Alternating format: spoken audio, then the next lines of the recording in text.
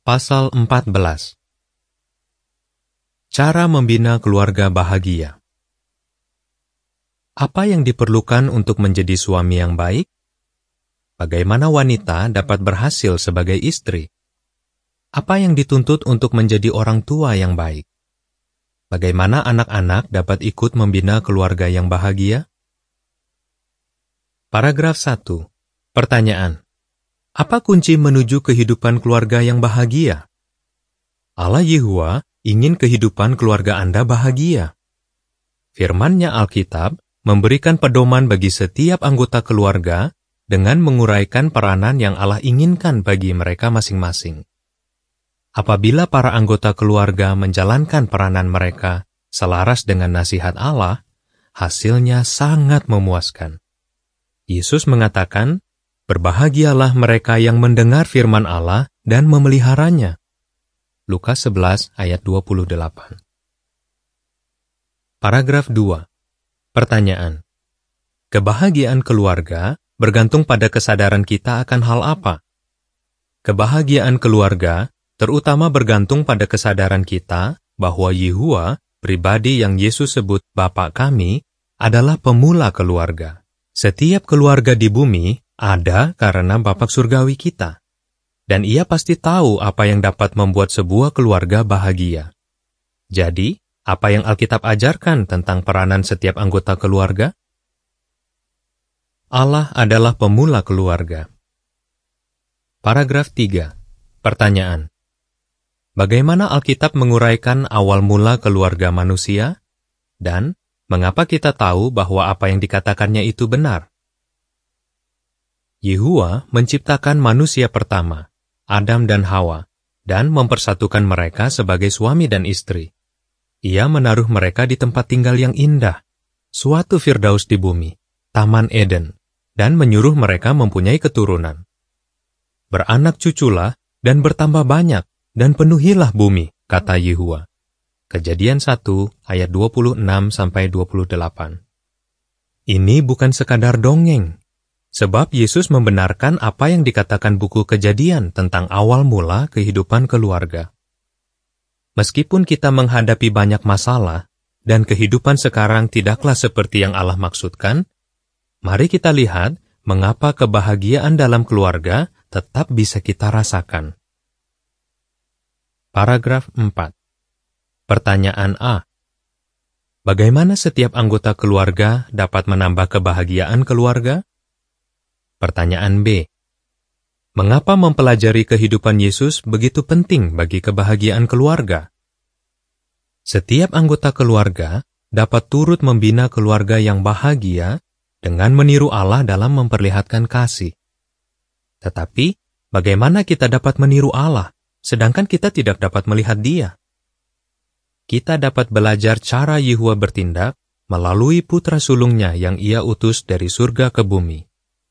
Ketika berada di bumi, putra ini, Yesus Kristus, meniru Bapak Surgawinya dengan begitu persis, sehingga orang yang melihat dan mendengarkan Yesus sama seperti berada bersama Yehua dan mendengar dia.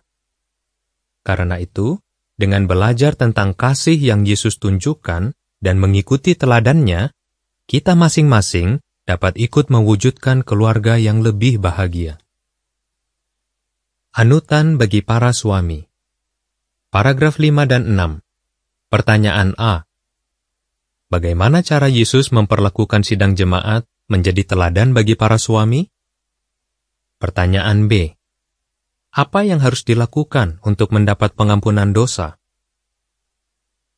Alkitab mengatakan bahwa suami harus memperlakukan istrinya dengan cara yang sama seperti Yesus memperlakukan murid-muridnya.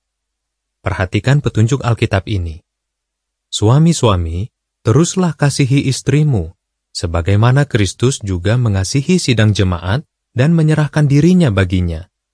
Dengan cara inilah suami-suami harus mengasihi istri mereka seperti tubuh mereka sendiri. Ia yang mengasihi istrinya, mengasihi dirinya sendiri. Sebab, tidak seorang pun pernah membenci tubuhnya sendiri, tetapi ia memberi makan dan menyayanginya, sebagaimana yang juga Kristus lakukan kepada sidang jemaat. Efesus 5 ayat 23 dan 25-29. Kasih Yesus bagi sidang jemaat yang terdiri dari murid-muridnya merupakan teladan yang sempurna bagi suami. Yesus mengasihi mereka sampai ke akhir dengan mengorbankan kehidupannya bagi mereka meskipun mereka tidak sempurna. Yohanes 13 ayat 1 Demikian pula, para suami didesak, teruslah kasihi istrimu, dan janganlah marah dengan sengit kepada mereka.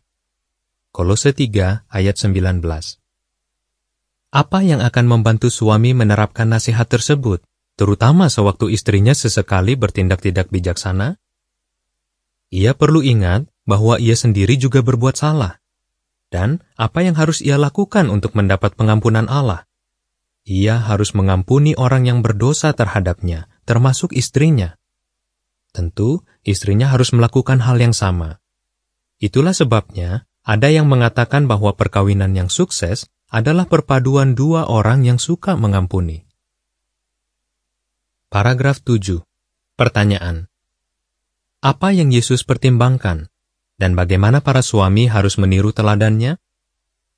Para suami sebaiknya juga memperhatikan bahwa Yesus selalu bertimbang rasa terhadap murid-muridnya. Ia mempertimbangkan keterbatasan dan kebutuhan fisik mereka. Misalnya, Ketika mereka lelah, ia mengatakan, Marilah kita pergi ke tempat yang sunyi dan beristirahat sedikit, kita saja. Markus 6 ayat 30-32 Timbang rasa yang penuh pengertian juga layak diberikan kepada istri.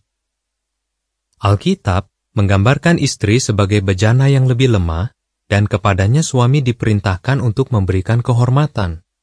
Mengapa?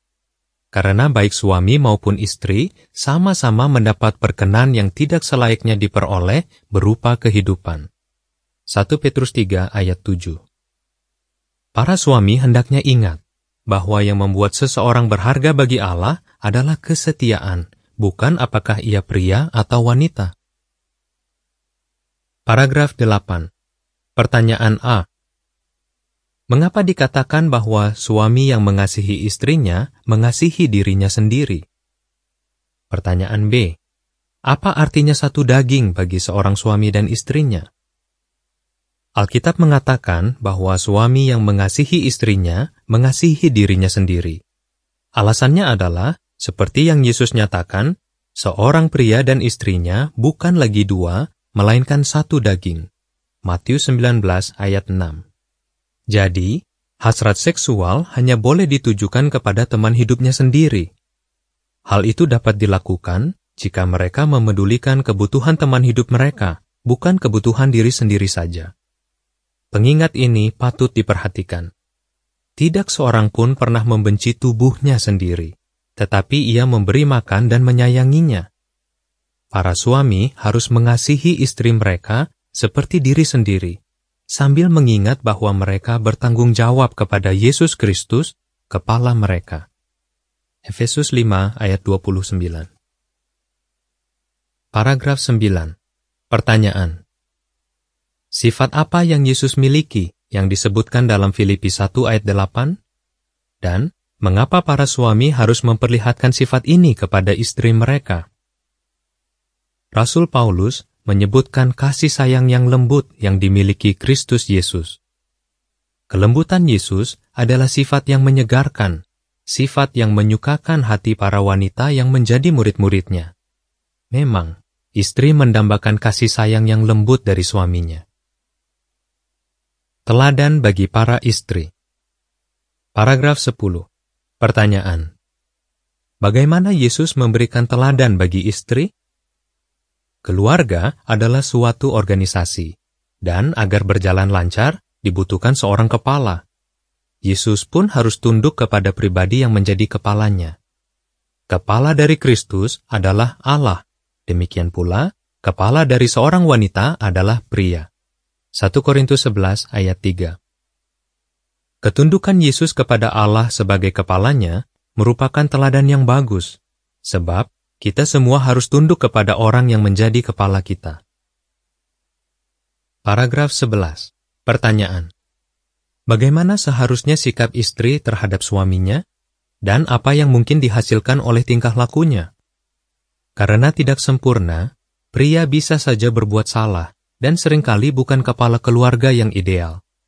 Maka, apa yang harus dilakukan istri?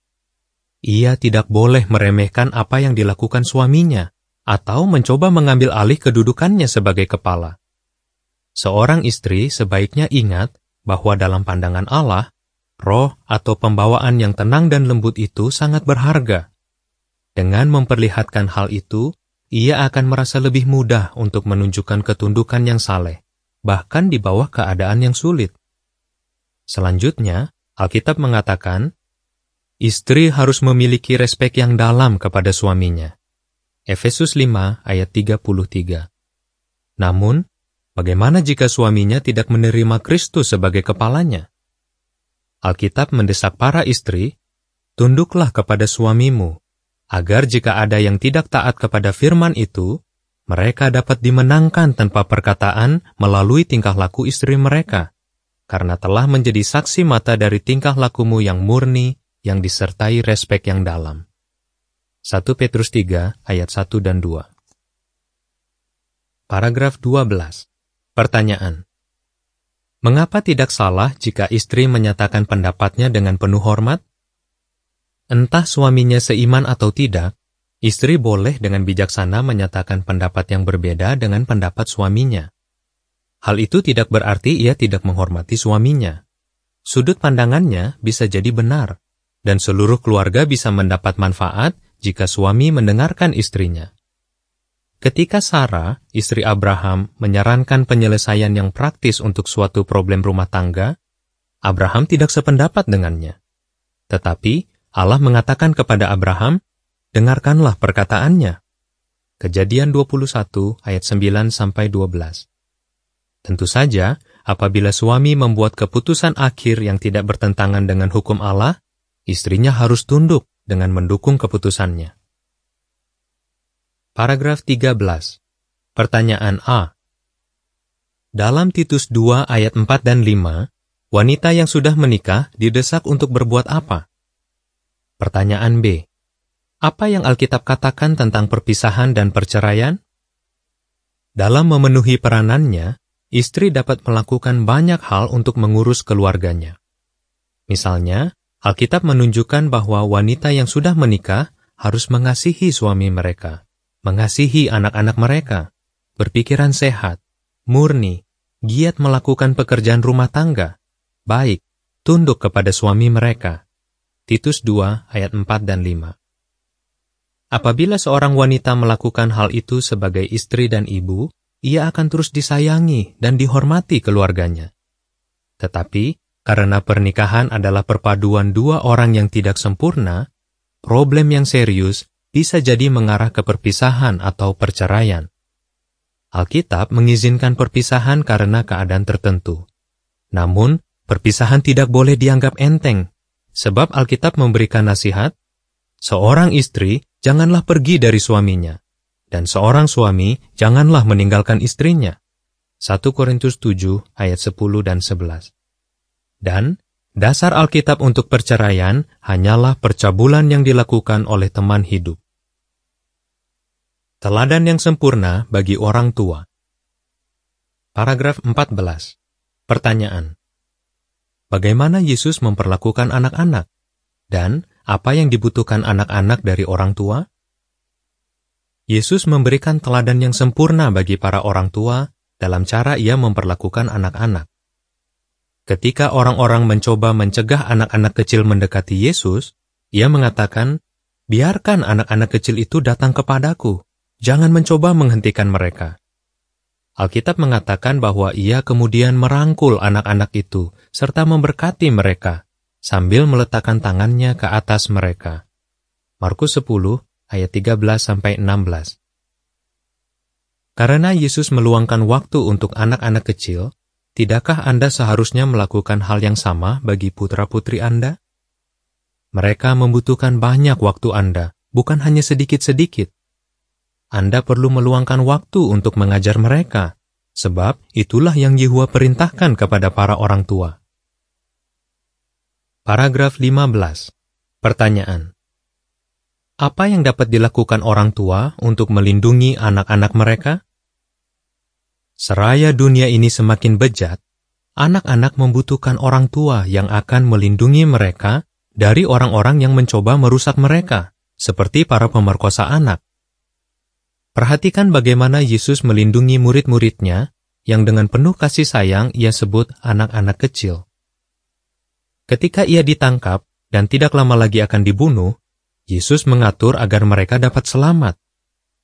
Sebagai orang tua, Anda perlu waspada terhadap upaya si iblis untuk merusak anak-anak kecil Anda. Anda perlu memberi mereka peringatan di muka. Catatan kaki mengatakan, bantuan untuk melindungi anak-anak terdapat di pasal 32 buku Belajarlah dari Sang Guru Agung yang diterbitkan oleh saksi-saksi Yehua. Akhir catatan kaki.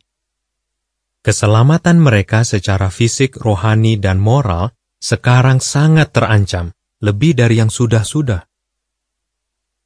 Paragraf 16. Pertanyaan. Pelajaran apa yang dapat diperoleh orang tua dari cara Yesus menangani ketidaksempurnaan murid-muridnya? Pada malam sebelum Yesus mati, murid-muridnya bertengkar tentang siapa yang lebih besar di antara mereka. Yesus tidak marah kepada mereka, tetapi dengan penuh kasih terus menyadarkan mereka melalui perkataan dan teladan. Jika Anda adalah orang tua, dengan cara apa saja Anda dapat mengikuti teladan Yesus sewaktu mengoreksi anak-anak Anda? Memang, mereka perlu disiplin, tetapi itu harus diberikan sampai taraf yang patut dan jangan sewaktu Anda sedang marah. Anda tentu tidak akan berbicara tanpa dipikir bagaikan dengan tikaman-tikaman pedang. Amsal 12 ayat 18. Disiplin harus diberikan dengan cara yang benar, sehingga anak Anda belakangan akan menyadari betapa benarnya disiplin itu. Anutan bagi anak-anak Paragraf 17 Pertanyaan Dengan cara apa saja Yesus memberikan teladan yang sempurna bagi anak-anak? Apakah anak-anak dapat belajar dari Yesus? Ya, tentu. Melalui teladannya sendiri, Yesus menunjukkan cara anak-anak harus menaati orang tua mereka. Aku berbicara, katanya, sebagaimana telah diajarkan Bapa kepadaku. Ia menambahkan, Aku selalu melakukan hal-hal yang menyenangkan dia. Yohanes 8 ayat 28 dan 29. Yesus patuh kepada Bapa surgawinya, dan Alkitab menyuruh anak-anak menaati orang tua mereka. Meskipun Yesus adalah anak yang sempurna, ketika berada di bumi, ia menaati orang tuanya, Yusuf dan Maria, yang tidak sempurna. Hal itu tentu menghasilkan kebahagiaan bagi setiap anggota keluarga Yesus. Paragraf 18. Pertanyaan. Mengapa Yesus selalu menaati Bapak Surgawinya? Dan, siapa yang bahagia apabila anak-anak menaati orang tua mereka dewasa ini?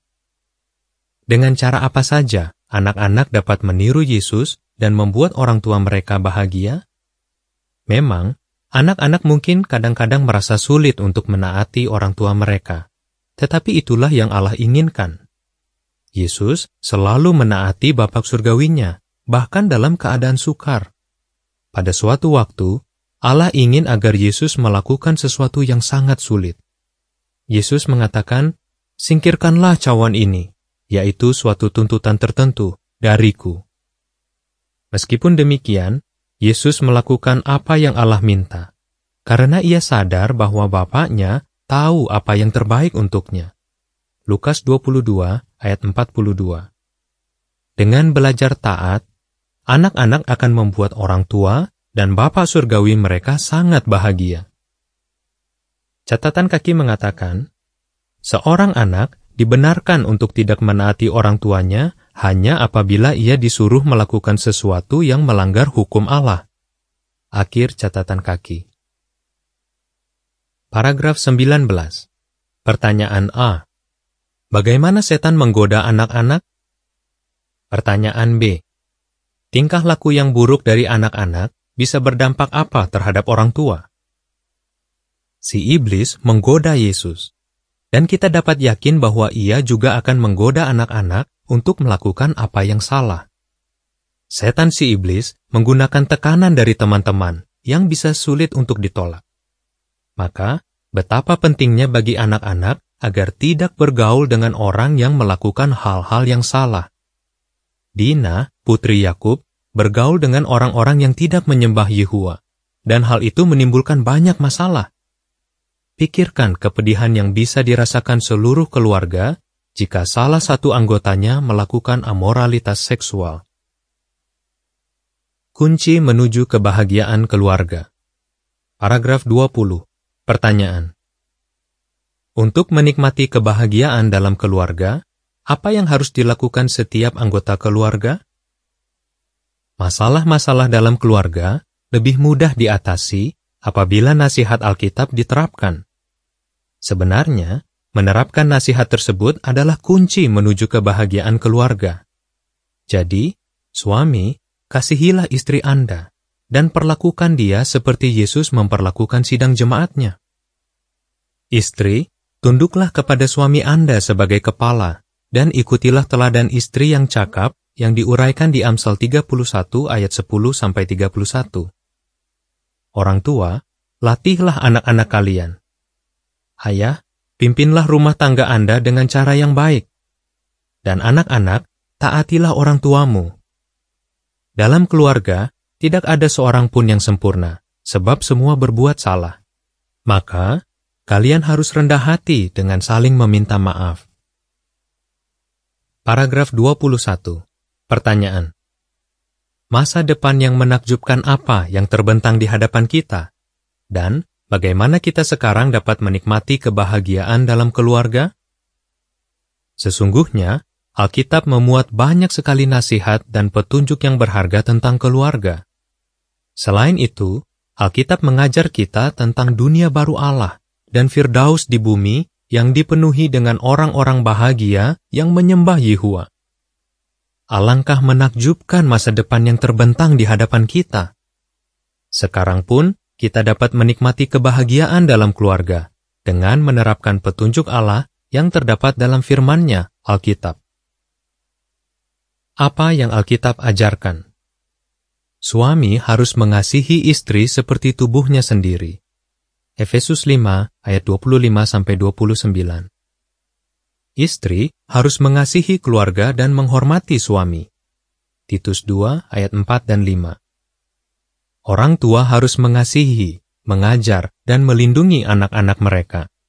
Ulangan 6 ayat 4-9 Anak-anak harus menaati orang tua mereka.